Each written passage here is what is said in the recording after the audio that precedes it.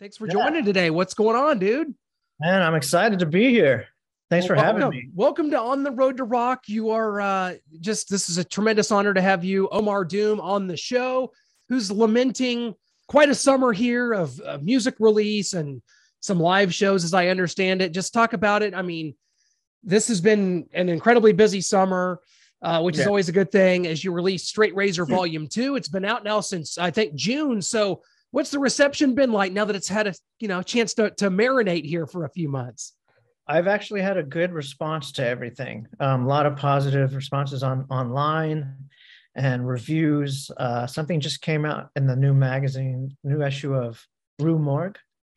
And uh, i think there's a review in there. I haven't read it yet but and uh, so yeah I, I, released volume two in in uh, a couple months ago. Yep.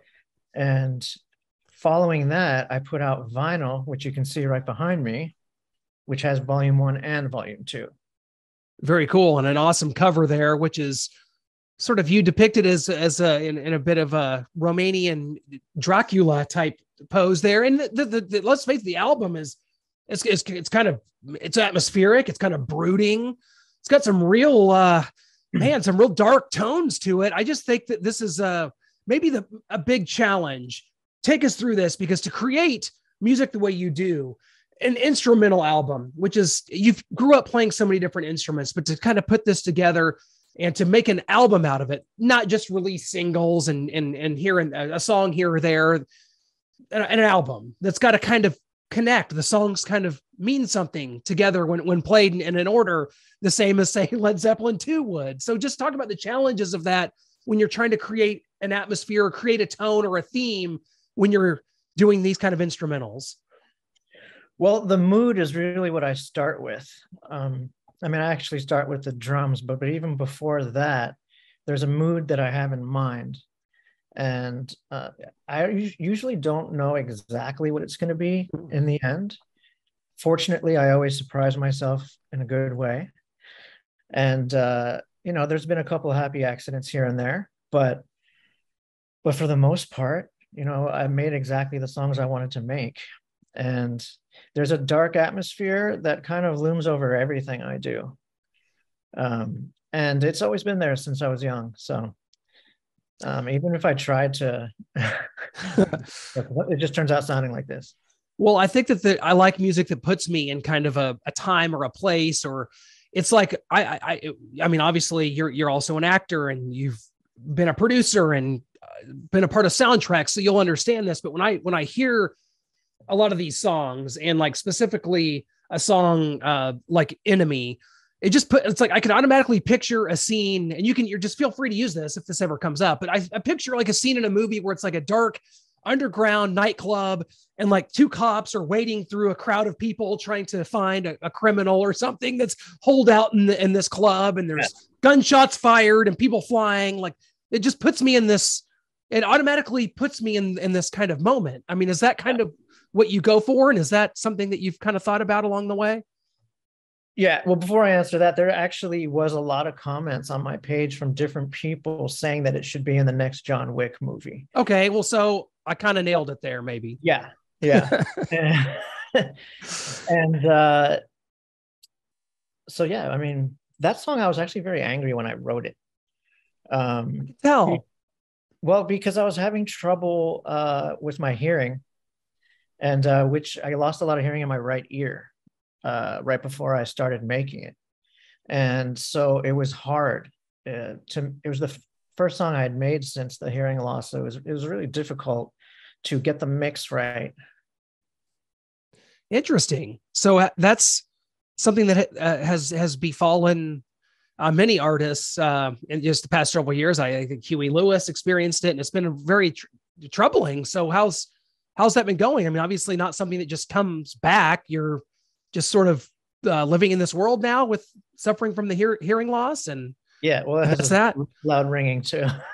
like tinnitus, I have a little of that myself. On a smaller scale, like uh, it's it's not ringing, it's like a pounding, like a bass drum. Pretty sure Slayer actually is to blame for this. And I'm not kidding. Like after I left a Slayer concert, like a snare drum never went away in my inner yeah. ear. So, yeah, well, I, I, mean, I grew up playing drums with sure. cymbals right by your ear. But I'm not complaining. I mean, this is part of being a musician. It's going to happen eventually to people.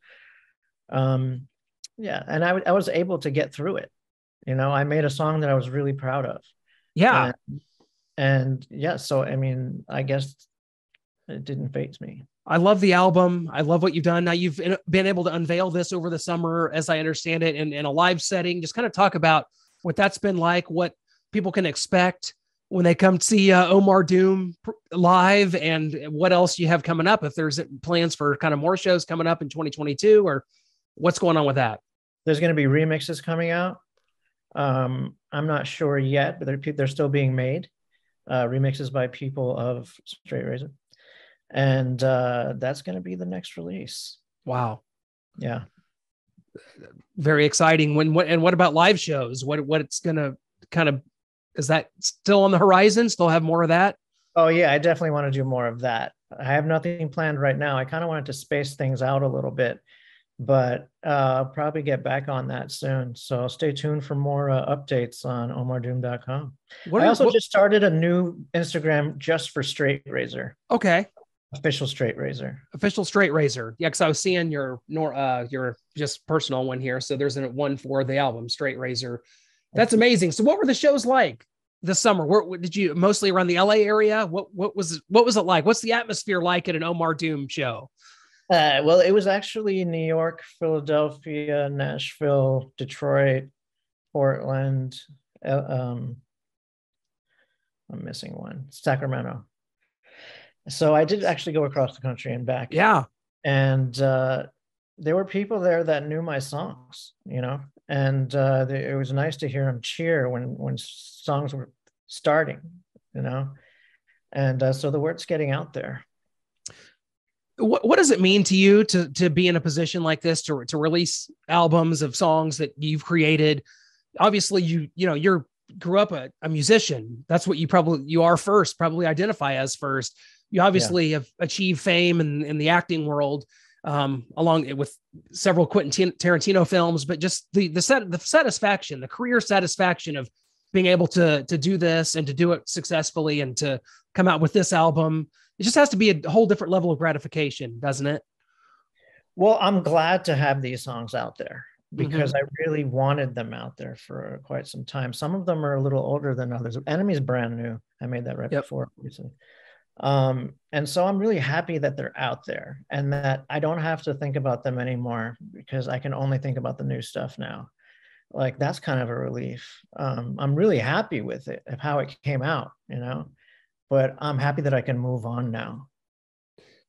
So interesting. So you're kind of one that's doesn't look back much. You're just kind of always evolving, always next thing, next project. That's yeah, I'm gonna okay. do. I'm probably gonna do a full album for Straight Razor. So, yeah, sweet. Uh, that's tremendous. Um, I got to ask you about soundtracks because you've been a part of some soundtracks before. Obviously, Quentin Tarantino, he's got, got to be one of the better, most eclectic uh, directors when it comes to formulating a, a, a soundtrack. Have you guys ever just talked about soundtracks and the the intricacies of of how songs can work in a in a movie and how that we we have talked, we have talked about that actually. He does something really interesting. He said this uh, to the public i can say it. But um he when he starts a movie he listens to music first. He goes into his record room and starts finding the beat of the movie. So that that's that's really that was really interesting for me. Wow. I, that is the true essence of of artistry right there. And that just I, Death Proof makes so much more sense now. That's great. That that that soundtrack in particular is probably my favorite one that he ever did. That's your first movie there, and I actually made the mistake of telling it. I was in college when Death Proof came out, Omar, and I made the mistake of using your line, telling a girl in that whimpery voice, "I just want to make out." It didn't work for me. It did for you though in, in, the film. So I, i have harnessed a grudge all these years. I just I got you on this show for that purpose to just tell you that that just does not work for the average person, Omar. Come on. I love that scene though. In the script, I do uh, kiss her. We didn't end up filming that, but yeah. Yeah, that's uh, that's a sorry great. to hear that though. I'm sorry to hear. No, that. it's okay. I uh, I rebounded. You know, I you know it's uh, it's it's all part of the experience, all part of growing up, all part of life. So uh, it's all good there. So you know, as as we you know this this last couple years has been so crazy, man. So do you think that pandemic, more downtime, did that sort of guide you in in the direction you talked about being angry? A lot of people were angry the last yeah. couple years. Was that is that sort of the antithesis, the genesis of some of these songs too? Yeah, I mean, there's kind of an end of the world kind of vibe in enemy i think it's I, you know like yeah. what are we gonna do now absolutely but um yeah pretty much i can definitely tell. I like that. Um so you you kind of grew up though playing in more in harder rock bands. You're kind of a metal guy right? Yeah. At, at, at its heart. So what, what what are you listening to growing up? And that's probably a, a loaded question, but what what kind of bands are you listening to that are influencing you? I was big on the Ramones when I was like an early okay. teenager. I followed them like the Grateful Dead. You know, like I just saw. I was able to see them, you know, in the late '80s, early '90s, in, in small bars, like with people just going crazy. It was just wild. When they play, it's like a freight train. It is so loud, hard, and fast. It's just something that I wish I could experience again. Um, so anyway, so I was listening to stuff, a lot of stuff like that, Misfits, Ramones, and uh, as my neighbor was really into metal, and we used to skate together. And I'm a skateboarder, and he was really into metal, like Metallica, mm-hmm. ACDC, Iron Maiden, and so we kind of like were introducing music to each other. And uh, so I started listening to metal then, and then from metal I started, you know, there was moved to industrial and uh, from industrial i moved to dance music you know techno house you know. And uh, that was that that's the chronology of my uh, music. And you can kind of hear that. It's like it all in some ways manifests itself in some ways yeah. in what you do. And i think that that's what's great about hard rock music is that it's sort of derived from dark dark uh, classical music anyway. So that music lives on it can live on as, synth- as synthesizer music as kind of doomy gloomy type music that's that's what's great it can it can manifest itself in many ways i think it has in your work I actually love doom metal, and the name is just a coincidence because I named myself Omar Doom you, before that name came out. I think that there's a patent involved there that we need to make sure that you're that that's yeah that should be all you. That that should be royalties for you just for that. Um, do do you remember what your first concert was? Was it the Ramones? Was that your first show ever? No, I was in fifth grade. I saw uh, Guns N' Roses uh, at the Spectrum in Philly, and they were opening for Aerosmith. My dad's like like '87. That was a exactly tour there. So you grew up. So you grew up in Philly. Yeah. No, I grew up in like an hour and a half from Philly. Okay in Lehigh Valley. I grew, I was born in Easton, Pennsylvania. It's like an hour from New York. And, so, uh, man, that's that's pretty good first show. Your dad yeah, took you, and then his parents took us to the Metallica and Justice for All tour show at the Stabler Arena in Bethlehem. That was pretty cool. That's because they had the whole, good... the big uh, woman with the scales. it know, fell apart during one. Yeah, yeah, she crumbled we, we, were, we were, you know, I was like pretty young, so it was all. God, I want to say cool. we were, we were all the way in the bleachers, and there wasn't that many people around us. There was a couple families here and there, but me and my friend were like, we have to headbang the whole time, you know. they were just like, like Beavis and Butthead like this the whole time. And I would look around sometimes and people would just be like, oh my God, look at them. it was, we probably looked hysterical. Oh, that's that tour though. That was, uh, I think, I think Queensryche opened a lot of that. You, they, you might not remember the opener, but they did. Booed so hard. Really? Yeah.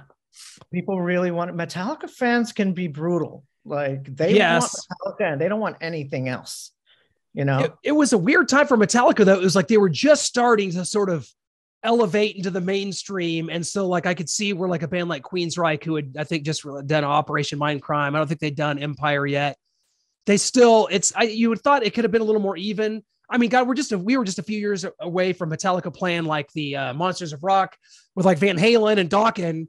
So it was around that time that they just started heading onto another stratosphere probably yeah. untouchable at that time. So yeah, that was that was probably a, just a bad timing there for poor Queensryche. So, uh, that is that is amazing. So you're you're from that area. Are, you, are you a sports fan at all? Football season just kicked off. There's a lot of teams. Penn State, Philadelphia Eagles, Pittsburgh Steelers. Anything you fan of any I of that? I watch a lot of like motorcycle racing. Stuff. Okay. Yeah, I'm into that. And you're a skateboarder, so maybe more extreme sports for you. Well, I watch a lot of skateboarding, of course. Well, absolutely. That's that. You're kind of a renaissance man, Omar. Let's let's be honest. Like you kind of cover it all. You're like a renaissance man. Well, that, I've heard that before. Okay. I don't know how much I can really say about that about myself. Like, I don't know if I ever want to call myself a renaissance man. It's sort of ha- yeah. Now that I think about it, like it's supposed to be like a you know, it's supposed to be a very dignifying thing, very very positive, but it's it comes off as a little strange when you hear it out loud. You're I'm a Oh. renaissance man. Like you're supposed to be like wearing like suits and Yeah, I don't want to come off as arrogant. you're you're anything but that. So, what else is coming up? What else you got? Um, any acting gigs? What else? What else we got coming up here? Well, uh, there's no uh, solid acting gigs I can talk about right now, but uh, I have written a couple horror scripts, and my plan is to combine all of those talents with soundtrack writing and directing a movie, which is going to be which is going to happen. So That's perfect because I I see so much in in your work that is, and I'm a horror just nut. So I've been like, I heard there's a new movie that's come out called Barbarian. Everyone's kind of talking about. That's the one that's got some buzz. So I don't know if you've seen it yet. Justin Long's in it. seen I haven't seen it. Um, I got to see Brad's movies first. There's, there's, uh, you know, Babylon, which is coming out. I heard that's awesome. Yeah, there you go. and Bullet Train. Like, I, I need to see those two first. Okay, so you got that on the horizon. Um, got it. Okay, well, Omar, this is just it's just been an honor. This is great. Uh, I just can't thank you enough for for coming on on the road to rock here to talk about the new album and to talk about everything that's going on in in your world. Straight Razor Volume Two. It's out now. Check it out. And as always, the website omardoom.com. Yes, Yes, that's easy enough. very easy. There's lots of links there. You can go to different stuff or try out the new Instagram, official straight razor or Omar Doom. I'm going to do all those things, sir. I'm a good listener. I will do it. Omar, thanks so much for joining us. Have a great day, sir. And we'll uh, catch up soon, my man. Thank you. Talk to you soon. You bet.